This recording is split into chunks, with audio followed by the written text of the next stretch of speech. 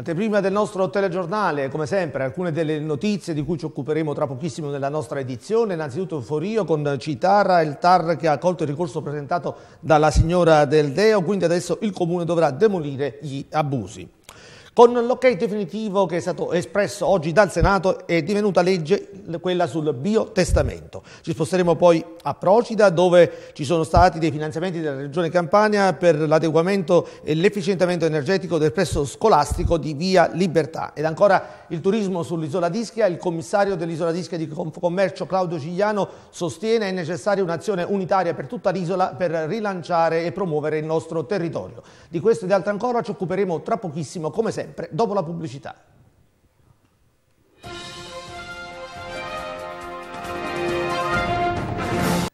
Sul porto di Ischia, sulla splendida Rive Druat, trovi il ristorante La Baia del Clipper. Nunzio e la sua famiglia, in una calorosa atmosfera, ti faranno gustare piatti dai sapori unici, specialità marinare, frutti di mare e pesce sempre di giornata, cucina tipica mediterranea e la classica pizza napoletana. Il porto di Ischia, il faro e la Baia del Clipper, il ristorante dove i sapori sposano il profumo del mare. Prenota da noi i tuoi banchetti delle festività natalizie. Brunch con musica dal vivo dalle 12 alle 17 del 24 il cenone della vigilia, il pranzo di Natale e il cenone di San Silvestro. Per info e prenotazioni 081 333 4209. La Baia del Clipper ti aspetta per festeggiare con te. Sull'isola di Forio, centro diagnostico Ecorad del dottor Renato Regine. Il centro Ecorad dispone di una risonanza magnetica aperta dagli altissimi standard tecnologici, analisi cliniche approfondite per encefalo, colonna vertebrale, addome inferiore e strutture osteoarticolari. La risonanza magnetica aperta è ben tollerata dai pazienti claustrofobici. Il centro diagnostico Ecorad effettua esami di radiologia digitale, ecografia, ecocolor Doppler, TAC multistrato, dentascan, MOC, ozonoterapia per ernia del disco. Diagnosi diagnosi per la prevenzione della neoplasia mammaria con mammografia digitale, ecografia ed elastometria mammaria. Ricorda, la prevenzione è la terapia più efficace. Ecorad è in Rione Genala 16 a Forio. Telefono 081 99 71 82. Ecorad, tecnologia all'avanguardia per la tua salute.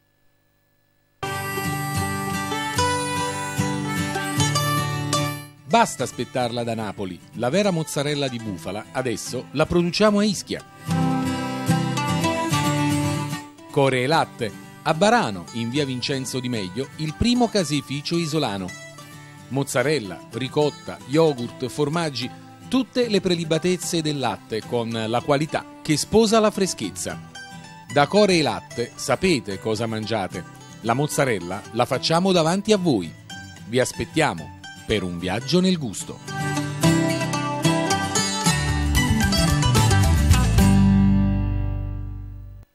Mille Molliche, artigiani del gusto. Mille Molliche, dove la passione per la cucina incontra l'esperienza dei maestri delle arti bianche. Il risultato? Pietanze dal gusto inconfondibile e prodotti assolutamente genuini. Da noi tutti gli ingredienti sono sapientemente selezionati. Per il processo di lievitazione usiamo il criscito, la magica pasta madre che rende i nostri prodotti da forno molto digeribili e particolarmente buoni. Da Mille Molliche trovi pane, pane speciale, pizze, cornetti, dolci, ma anche primi, secondi, contorni e sfizioserie da asporto. L'arte del mangiar bene. Mille molliche. Artigiani del gusto.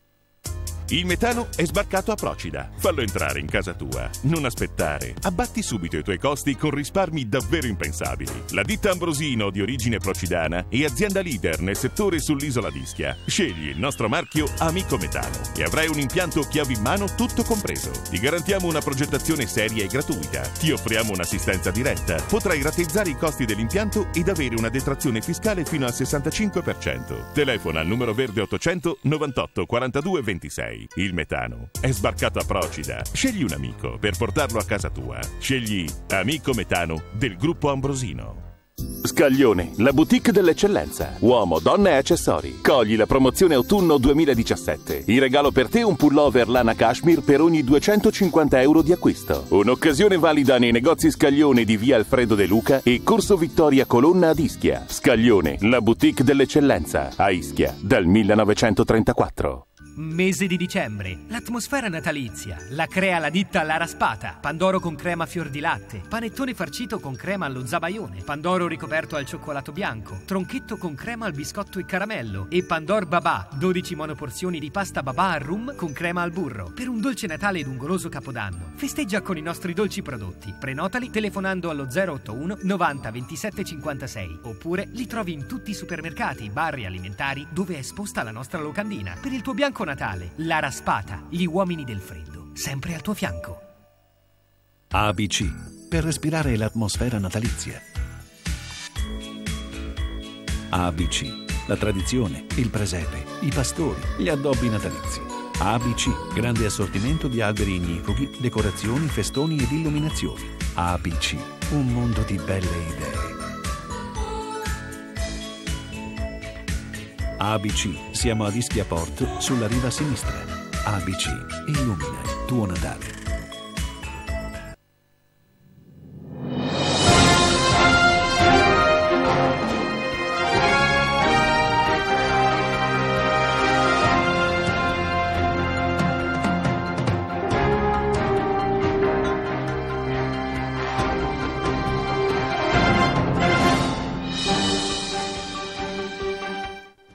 Citara, il TAR accoglie il ricorso, il Comune dovrà demolire gli abusi. Accolto il ricorso presentato dalla signora Teresa Del Deo, il Comune dovrà eseguire l'ordinanza di demolizione.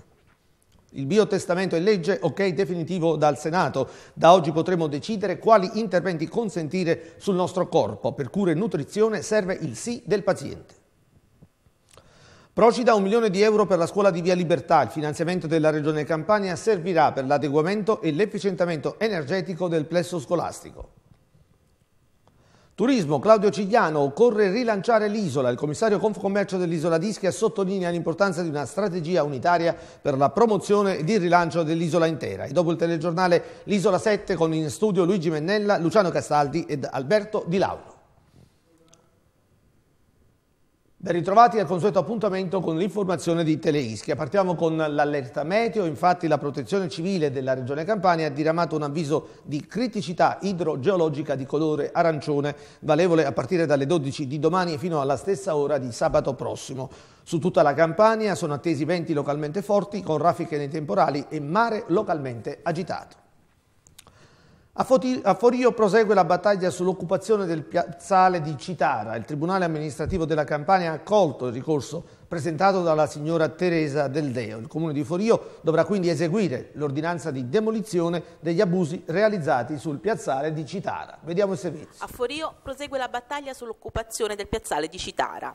Il Tribunale amministrativo della Campania ha accolto il ricorso presentato dalla signora Teresa Del Deo, rappresentata dall'avvocato Bruno Molinaro, contro il Comune del Torrione, colpevole di essere rimasto silente su una precedente diffida della signora Del Deo, con la quale il Comune veniva invitato ad eseguire un ordine di demolizione nei confronti del titolare del bar Il Panino, responsabile di abusi edilizi sul suolo comunale. Teresa Del Deo è proprietaria di un locale che si affaccia sulla piazza di Citara e che confina direttamente con il suolo pubblico, oggetto delle concessioni rilasciate dal comune di Forio a Giacinto Mattera e successivamente revocate. Con la sua diffida, a febbraio del 2017, la Del Deo chiedeva al comune che venisse eseguito l'ordine di abbattimento del marzo del 2016. Con l'accoglimento del ricorso, il TAR Campagna obbliga il Comune a provvedere alla demolizione, ultimando le procedure necessarie entro 30 giorni. Scaduto vanamente detto termine, su richiesta del ricorrente sarà nominato un apposito commissario ad acta. L'avvocato Molinaro precisa che il TAR ha già nominato il commissario per l'ipotesi di perdurante inottemperanza, prefigurando anche la responsabilità erariale in caso di ulteriori condotte omissive. Questo è solo l'ultimo atto di una lunga battaglia che va avanti da quasi due anni sull'occupazione del piazzale di Citara, una battaglia combattuta tra ripicche reciproche, denuncia l'autorità giudiziaria e interventi o omissioni dell'amministrazione di Forio. Chissà se siamo giunti al prologo o se dobbiamo ancora aspettarci qualche colpo di scena. Il presidente della Regione Campania, Vincenzo De Luca, ha inaugurato questa mattina il nuovo reparto di terapia intensiva pediatrica dell'ospedale pediatrico Santo Bono Pausillipon di Napoli.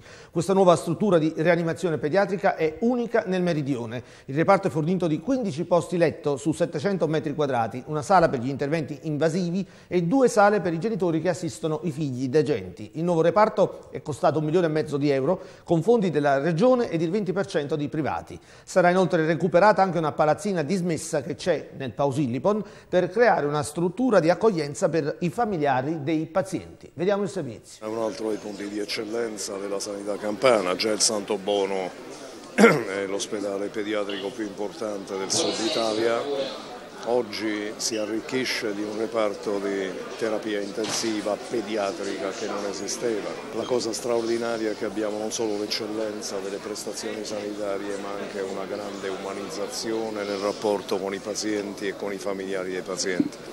Completeremo questo intervento recuperando anche una palazzina dismessa che c'è nel Pausillipon proprio per creare una struttura di accoglienza per i familiari dei bambini che sono in cura veramente un lavoro entusiasmante ed un punto di grande qualità della nostra sanità che merita di essere valorizzato in pieno.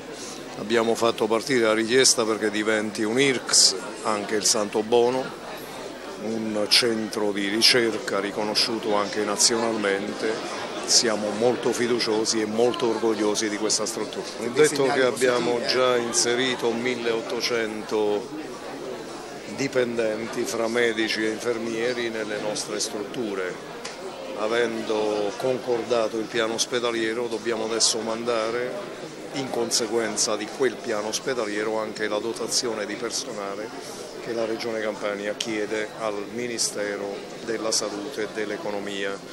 Credo che ci attesteremo su una richiesta di altri 4.000 dipendenti e questo ci consentirà di andare veramente a regime. Siamo particolarmente contenti di questa realizzazione perché era un reparto che da oltre vent'anni non veniva ristrutturato ed è stato ristrutturato in una maniera assolutamente innovativa, moderna, non solo nella struttura e nelle tecnologie, con eh, aree anche di isolamento per i pazienti eh, più complessi, per i pazienti infettivi e eh, con una struttura di neuroriabilitazione codice 75 che per la prima volta viene inaugurata in Regione Campania. Ovviamente questo consentirà il recupero della mobilità passiva e una possibilità anche di umanizzazione delle cure perché questa rianimazione sarà una rianimazione aperta con la presenza eh, per tutto il tempo possibile dei genitori accanto ai loro figli e nella struttura di subintensiva della neuroriabilitazione addirittura abbiamo previsto il roaming, quindi la presenza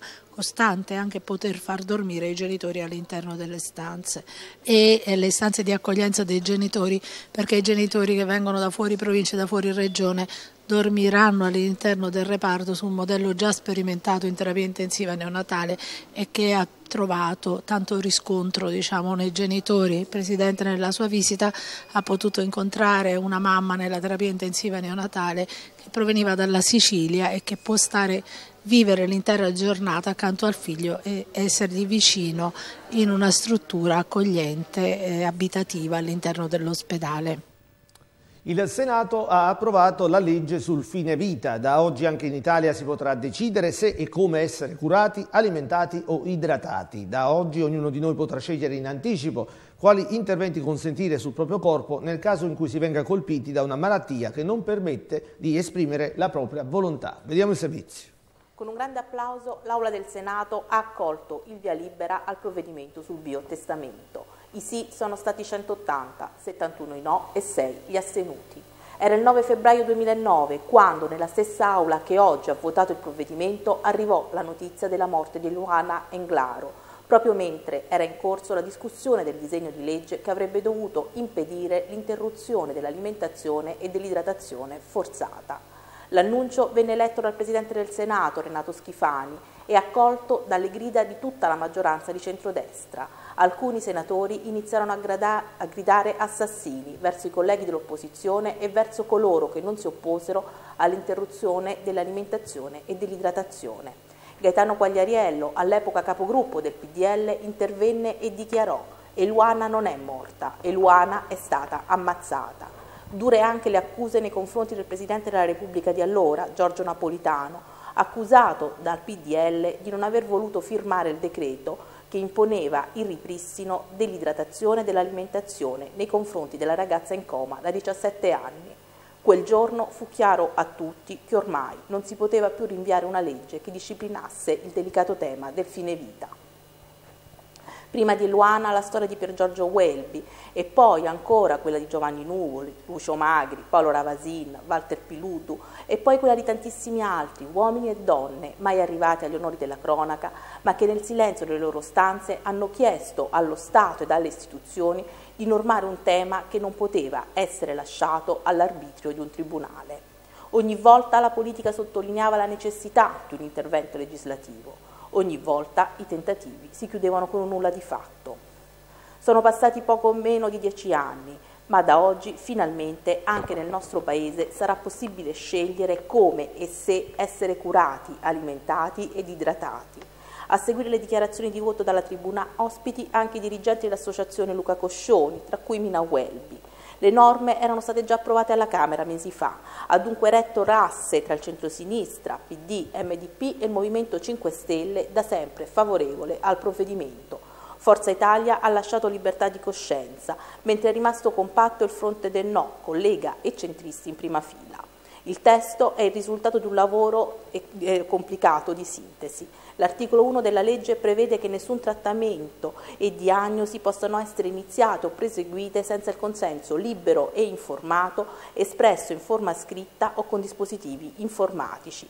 Il diritto di rifiutare le cure non legittima alcun comportamento commissivo volontario però da parte del medico volto a procurare la morte del malato. Ogni soggetto maggiorenne può stabilire, per il periodo in cui sarà incapace di intendere o volere o non potrà esprimersi, a quali cure e accertamenti sottoporsi, nominando un fiduciario, cioè un soggetto che lo rappresenti nella relazione con il medico e lo sostituisca nell'assunzione delle scelte. I sanitari sono tenuti a rispettare la volontà contenuta nella DAT.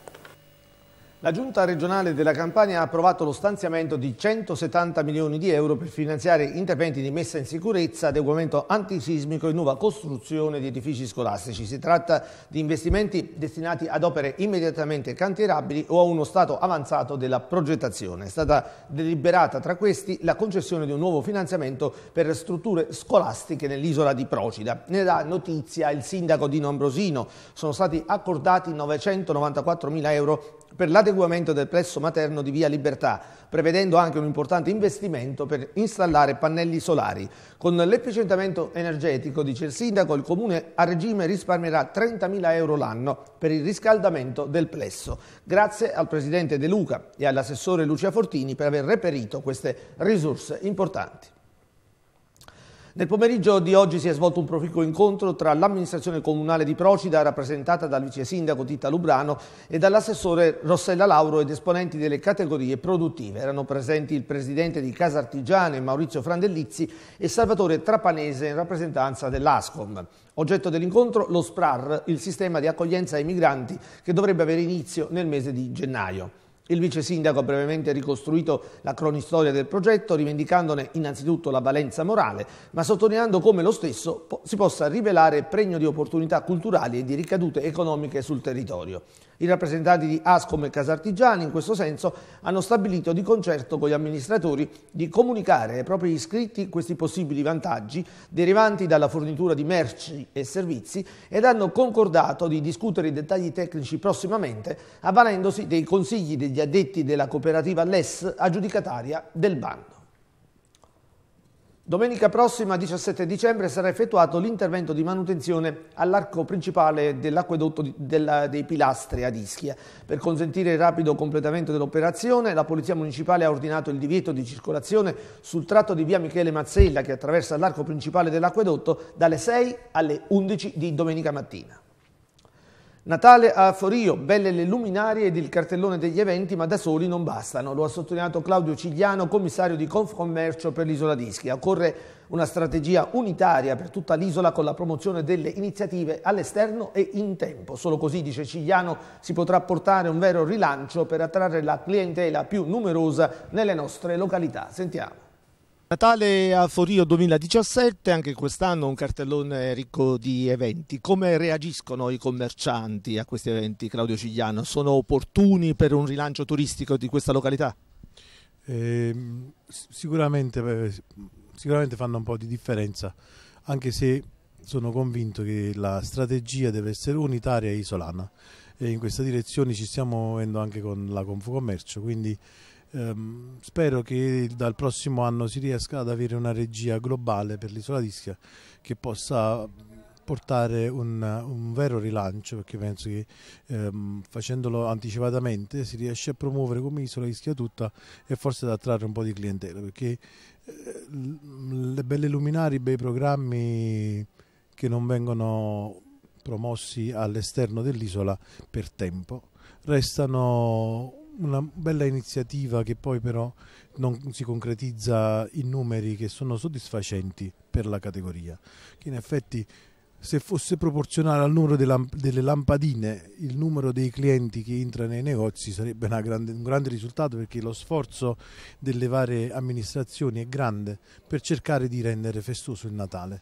Eh, credo che dobbiamo cambiare strategia, penso che vanno messe assieme tutte le teste e in modo corale si, si cerchi di destagionalizzare, di allungare la nostra stagione turistica. Ne abbiamo tutta la possibilità, sicuramente le spa, le terme che abbiamo che sono bellissime possono darci eh, quel quid in più possono essere eh, promosse per l'inverno e quindi attirare un numero di clienti, di turisti maggiori e mh, tanti turisti significa avere anche dei, dei clienti.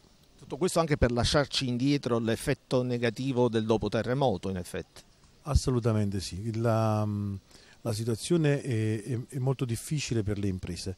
Quest'anno con, con questa disgrazia che ha colpito l'isola d'Ischia si è ulteriormente contratta la, la, stagione turistica, quindi le imprese stanno facendo ancora più di, salti mortali, c'è tanta difficoltà per andare avanti eh, ed è proprio forse da questa, da questa crisi ancora più forte può nascere finalmente l'unione per cercare insieme di promuovere Ischia come eh, unità, non più nei singoli comuni che mm, non porta grande giovamento. Da qui quindi nasce la necessità di ritrovare un momento di unità con una rinnovata Ascom Commercio che abbracci tutta l'isola. Da Napoli hanno eh, cambiato regime, hanno mm, pensato di azzerare tutto e partire con un modello nuovo eh, che andasse verso macro aree. Necessariamente per l'isola d'Ischia è importante poter parlare come isola d'Ischia tutta Nell'ambito di una campagna nazionale di tutela ambientale, questa mattina la Guardia Costiera di Ischia e l'Associazione Mare Vivo hanno incontrato gli alunni delle classi quarte della scuola elementare dell'Istituto Comprensivo Vincenzo Menella di Lacquameno. Diversi gli argomenti trattati dal comandante De Angelis e dal dottor Monti di Mare Vivo nell'ambito del progetto Delfini Guardiani, la tutela ed il rispetto dell'ambiente marino e costiero con riferimento ai compiti della Guardia Costiera in materia di vigilanza e di controllo, le fonti di inquinamento marino e la tutela del delle risorse dell'ambiente mare e le specie marine protette e l'area marina protetta Regno di Nettuno. Il terremoto del 21 agosto ha segnato in modo irreversibile la situazione economica della nostra isola. Franco di Costanzo lancia l'allarme, per quest'anno siamo riusciti ad arginare i problemi e a tenere il personale, ma se non cambia qualcosa e le amministrazioni non interverranno in modo strutturale, saremo costretti noi albergatori a ridurre i dipendenti che rischieranno anche di perdere la disoccupazione. Sentiamo. Franco di Costanzo si sta chiudendo il 2017, un anno che aveva in qualche modo dato almeno all'inizio qualche piccola speranza sul futuro, poi con il terremoto si è bloccato tutto. Tante le problematiche a questo punto bisogna affrontare, prima di tutto quella dei dipendenti che rischiano effettivamente di non avere la disoccupazione. Sì, diciamo che per quest'anno tutti quanti abbiamo mantenuto i nostri impegni con i dipendenti, perciò è già stato un fatto molto positivo, in effetti non hanno perso niente. Quello che siamo naturalmente preoccupati è per il futuro, perché naturalmente non è che l'imprenditore poi ogni anno possa sopperire a certe carenze che ci sono sull'isola di Ischia.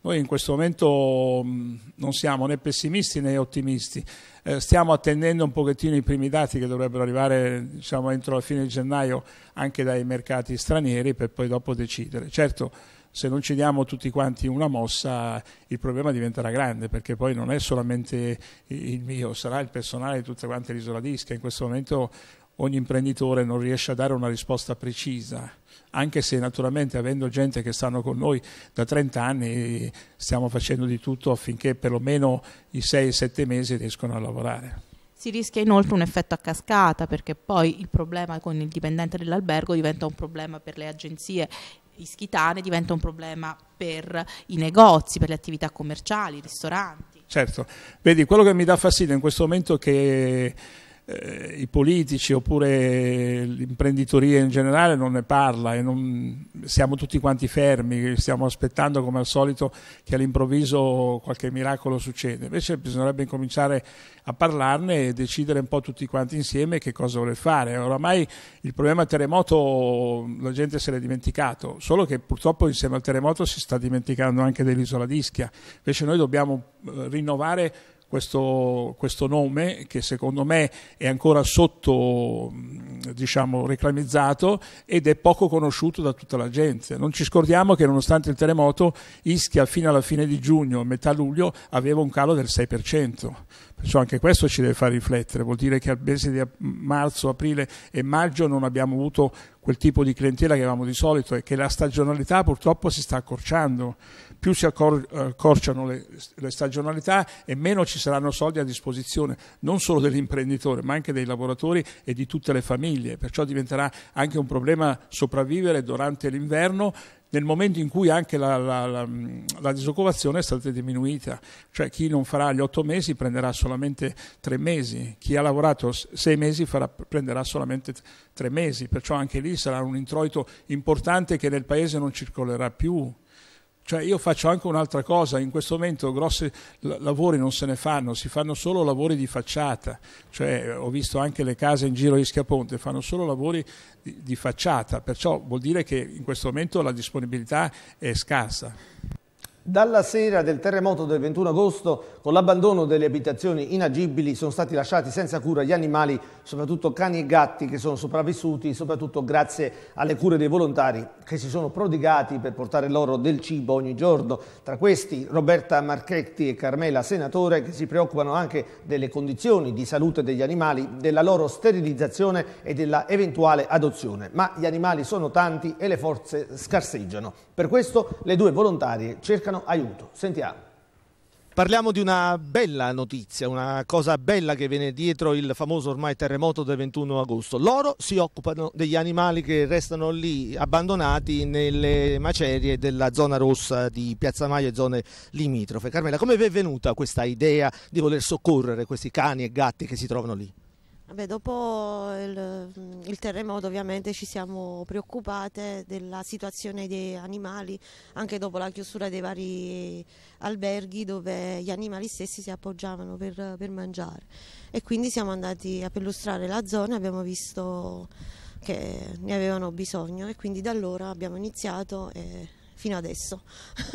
quanti ce ne sono? Avete fatto una stima Roberta di quanti sono? Mm, intorno ai 200 gatti cani rinchiusi eh, che sono stati abbandonati dai padroni, um, due o tre.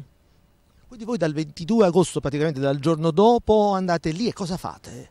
Diamo cibo, catturiamo per sterilizzazioni, eh, diamo assistenza medica, eh, adozioni anche quindi ci occupiamo un po' di, di, tutto. Non solo noi, abbiamo anche altre persone che una volta a settimana o due volte a settimana ci sostituiscono nel giro pappe. Io ho due gatti terremotati che sono stati soccorsi da noi, da me e Carmela, e sono in stallo da me, tra cui uno va in adozione il 19. Bello anche vedere che c'è anche altra gente, una rete che continua, no? che c'è gente che vuole averle in affidamento poi questi animali, è importante capire che c'è tanta solidarietà. Certo, se ci fosse anche braccia sarebbe anche eh, una buona cosa anche per noi, ma soprattutto io chiedo ai sindaci, sono sei comuni, eh, abbiamo bisogno di una struttura perché gli animali da là vanno spostati e vanno messi in sicurezza, soprattutto i cani che non hanno la possibilità di scappare un, un eventuale crollo eh, futuro perché non si può mai sapere. Noi chiediamo a uno dei sei sindaci eh, del comune di Ischia di darci una possibilità di accudire questi animali sotto una, un territorio eh, tranquillo e sereno anche per loro perché non è neanche giusto, anche loro hanno subito un trauma. Mi serve una mano sia manuale che conforto spirituale, sì infatti.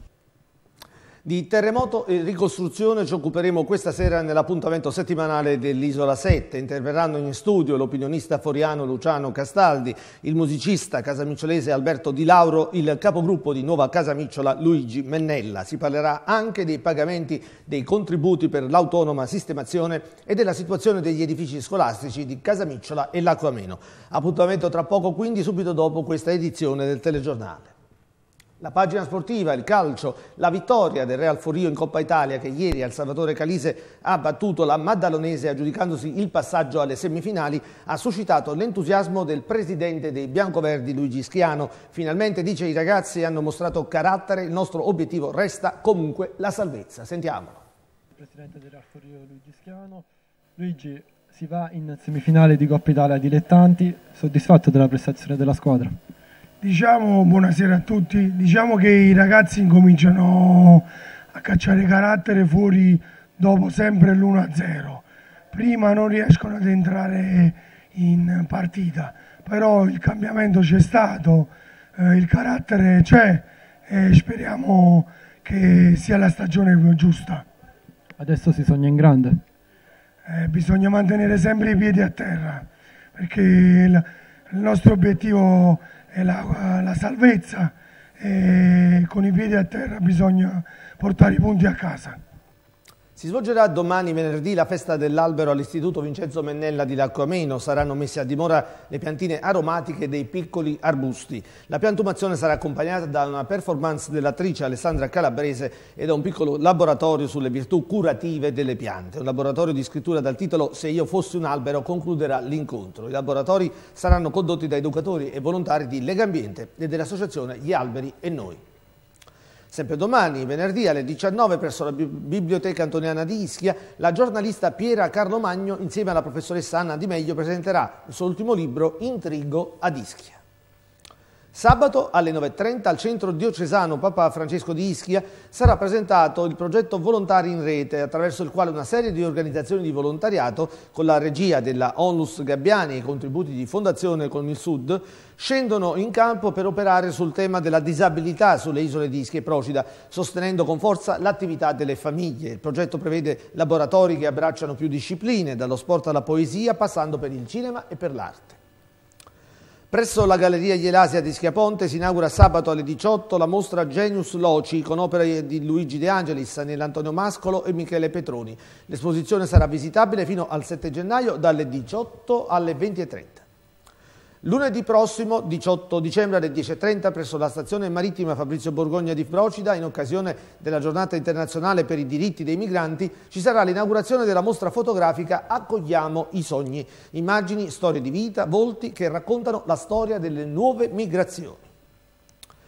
Adriana Biasco, delegata di Mare Vivo per l'Isola d'Ischia, comunica che è stata indetta una conferenza stampa L'Isola Verde si tinge di blu, l'evento organizzato da Mare Vivo al fine di presentare il progetto Nautici in Blu realizzato dall'Associazione dei diversi istituti nautici italiani. La conferenza stampa si terrà martedì prossimo alle 10.30 presso il centro Papa Francesco ad Ischia. Ed ora come sempre il meteo, vediamo che tempo farà sulla nostra regione. Previsioni per oggi. Al mattino, sulle coste, cielo nuvoloso con solo qualche breve schiarita. In montagna, schiarite alternate a nubi sparse.